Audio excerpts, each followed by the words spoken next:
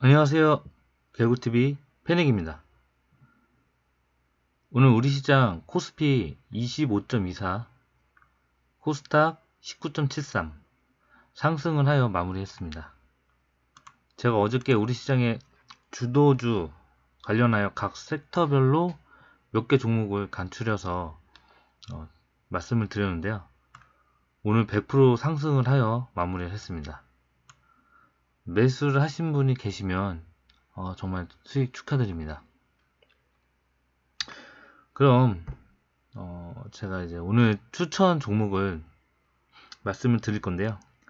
오늘 추천 종목은 오늘 오늘 상승이 있었음에도 불구하고 계속 소외를 받고 있는 섹터를 추천드리려고 합니다.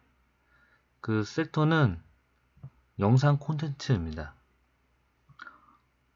그 섹터에는 어떤 종목이 있는지 보겠습니다. 제가 우선 4개의 종목을 추려서 설명을 드리려고 하는데요.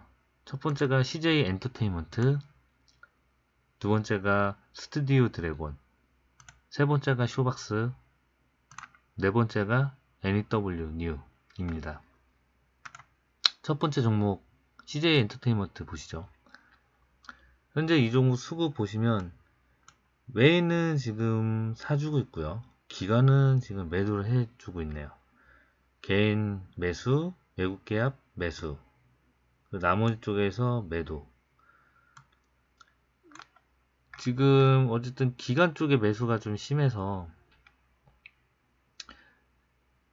이제 이후에서 재서 지금 매도로 이제 흘러내리는 모습인데 고점 대비 저점이 16. 2% 16.01% 거의 16% 이상 지금 빠진 모습입니다. 그리고 오늘 보시면 이 저점이 11만 5,500원 정도에서 말아 올리는 모습 보이는데요. 대부분 오늘 종목들이 다 이런 모습입니다. 그렇기 때문에 내이 종목이 이 11만 5천원 요 선을 깨지 않고 이 위에서 계속 놀고 있고 지지를 하는 모습이 보인다고 하면 어, CJ 엔터테인먼트는 당연히 이제 매수를 해서 모아가는 그런 위치다 라고 말씀을 드리고 싶습니다. 현재 저점을 계속 높아지고 있고요. 당연히 고점도 높아지고 있습니다.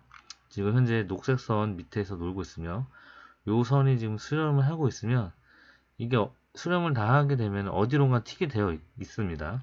근데 현재 완만하게 조정을 다 기간 조정도 다 잘 받고 물량도 잘 지금 소화하면서 모아가고 있기 때문에요. 좋은 흐름으로 보입니다. 제가 볼 때. 그리고 실적도 사실 음, 코로나기 때문에 잘 안 나올 거라 예상되는데 지금 어느 정도 마이너스 없이 잘 꾸준히 나오고 있습니다. 네, 보이시죠? 네. 두 번째 종목은 스튜디오 드래곤입니다. 이 종목 수급 보면 외인이 사주고 있고요. 기관이 열심히 팔아주고 있습니다.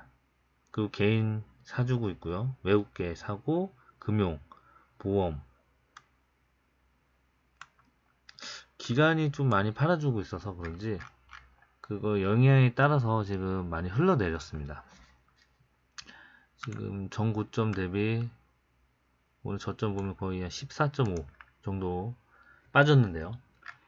그래도 마찬가지로 저점 대비 많이 말라 말, 말아서 지금 이제 마무리한 모습입니다.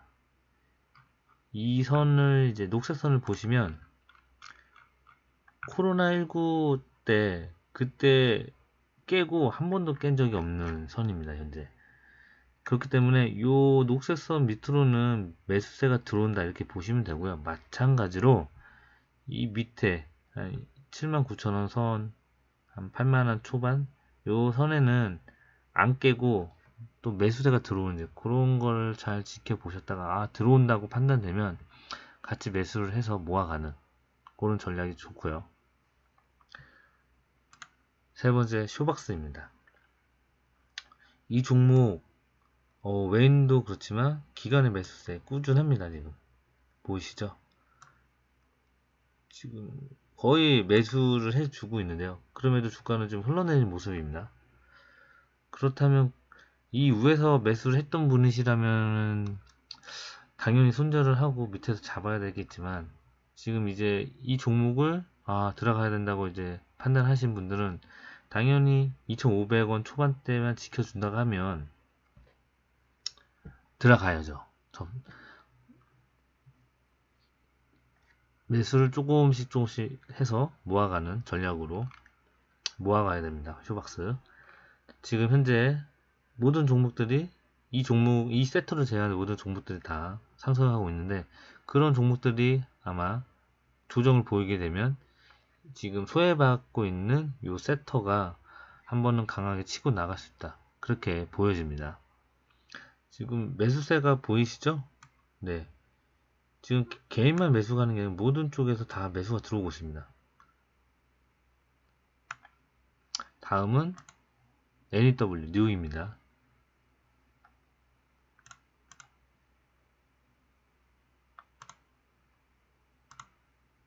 네. 아, 이 종목은 상당히 많이 빠졌습니다. 고점 대비 거의 44, 45% 가까이 빠졌는데요. 이제 이렇게 빠지고 지금 초록색 밑에 내려왔습니다. 그러면 이제 가격적인 메리트가 생긴 것입니다. 지금 보이시면 그리고 외인이 이제 외국계랑 기관 쪽 지금 개인 빼고는 꾸준히 매수세가 들어오는 모습입니다. 그렇기 때문에 여러분들은 이